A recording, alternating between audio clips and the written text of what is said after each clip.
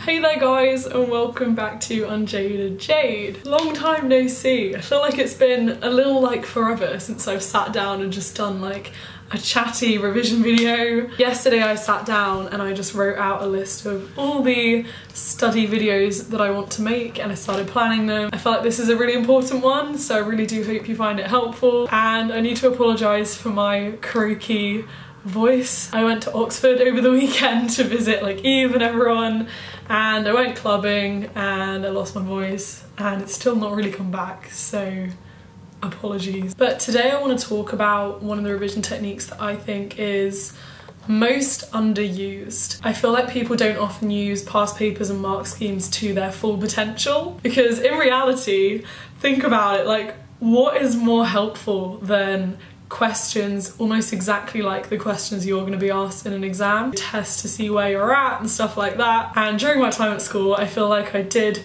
come to nail how to use past papers and mark schemes more effectively. So yeah, I hope you find this useful. Okay, so the secret to past papers and end of chapter tests and using them effectively is all in how you analyse them once you've done them. Getting things wrong is literally the most normal and okay thing ever. Like it is not about how much you knew, how what you got right, what you got wrong.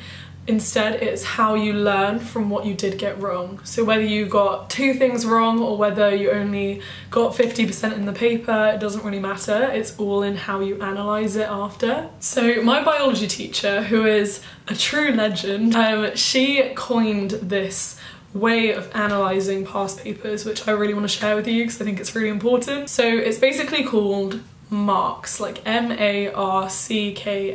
Each letter stands for a potential reason that you lost a mark. So MARCKS is based on the fact that there are always going to be different reasons as to why you didn't get a question right. Was it because you didn't know the answer, like you didn't you just didn't know it, like your revision wasn't potentially solid enough, you just didn't know the process well enough, you couldn't remember the right key term, did you not understand the question, which is a different issue because if you look at a mark scheme and you're like, ah, like I literally did know that, but you just couldn't understand the question, then that is, you know, another issue. Was it that you understood the question, you you kind of knew the knowledge, but it was one of these awful science application questions. Did your maths just go really wrong? So these are some common issues you can have. And so MARCKS, M stands for a maths error. So you didn't really understand the maths, you got the maths wrong, you made like a little error. A is for application, so this is more to do with science. Maybe they gave you some awful scenario which you just kind of didn't understand. You know that you do know the knowledge, you do understand the knowledge, but applying it to a foreign situation you struggled on. R is for read the question.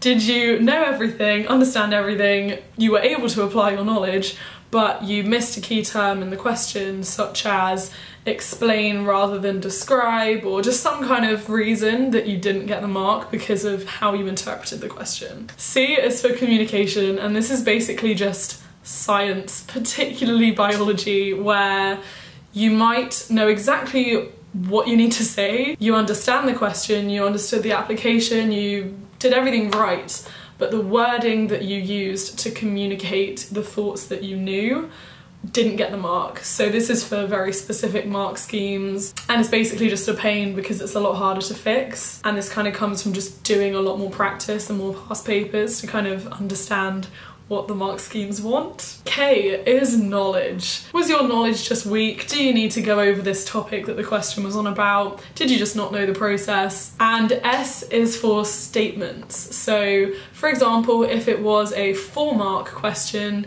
and you wrote two points, maybe you thought you wrote four, but in reality you did only write two and kind of waffled on to fill the space. We've all done it.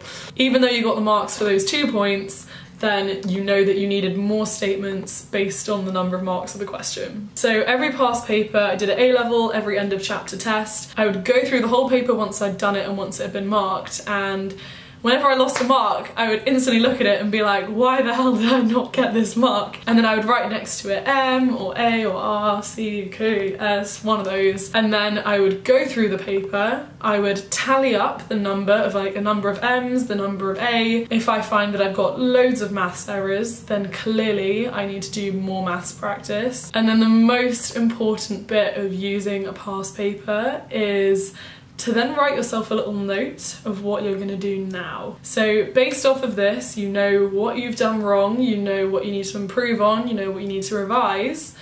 Write yourself that note and be super specific on what you want to go over, what you need to revise better, the kind of questions that you need to practice more. It just basically gives you this little game plan and it's so specific because the paper is literally telling you what you've done wrong and obviously, because I did mainly science subjects, this is kind of more science focused. Like, oh yeah, I need to consolidate this process, I need to try and revise this bit again. But this is applicable to any subject. If it's an English essay, like what did you not include enough of? Was it your terminology? Was it not specific to the question enough? Do you need to go over key terms and literary devices? Try and be as specific as possible in writing yourself this note for what you're gonna do next. And then whenever I would analyse a past paper, I'd always come home and put it straight on my to-do list to actually do whatever I had said that I would do because it's so easy to write yourself like, oh yeah, I'm gonna do this and then just never do it. Okay, my third point is, now that you've analysed your paper, if you don't understand something,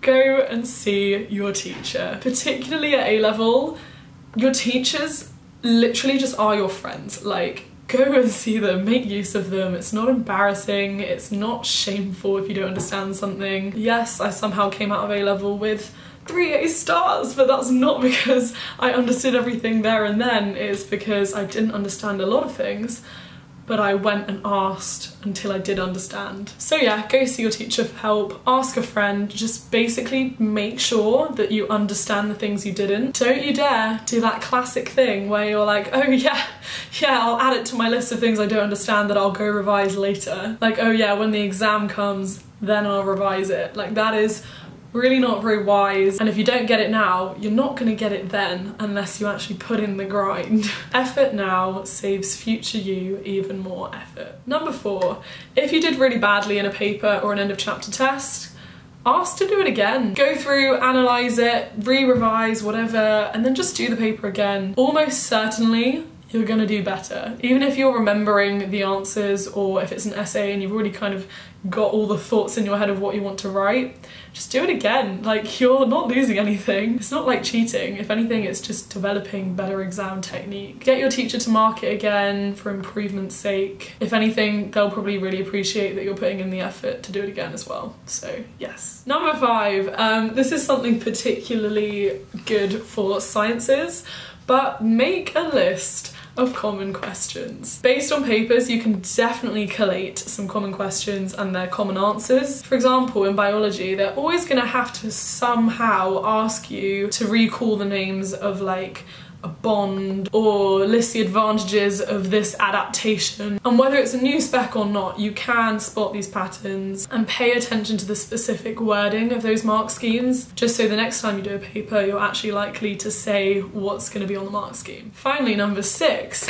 all these things that you've learned, all these specific things you got wrong, the wording mark schemes, etc reword those things into the notes that you are going to learn. If this whole time you've been saying the word narrow, but oh no, the biology AQA mark scheme wants you to say thin, go back and change narrow to thin. And that sounds really stupid, but welcome to AQA biology, the specificity of mark schemes. Yeah, just make sure that whatever you are learning is based off of past papers because that is the thing that is most likely to get you marks. And I hate this whole thing which is just like, oh yes, I need to memorize this so that I can just get a tick off of a mark scheme. But unfortunately that is the nature of our exam system in the UK and most places around the world right now. So I do hope this helps in some way. Do as many past papers as possible. Write as many English essays, write as many history essays, do maths papers, do past paper questions from your textbook, print them off, print them off, go back to like 2007 and just do all the papers up until now. This truly is the secret between getting an A or an A star at A level, for example. Let me know if this helped in some way. I'm sorry if my voice is also croaky. Also, you should have seen me before I filmed this video. I was just chucking all the rubbish out of the background. I have so many manky clothes everywhere here now, out of shot. But I am actually going to Winter Wonderland now, which is really exciting with my friend. I also combed up my eyebrows today. I think it looks fancy. Bye.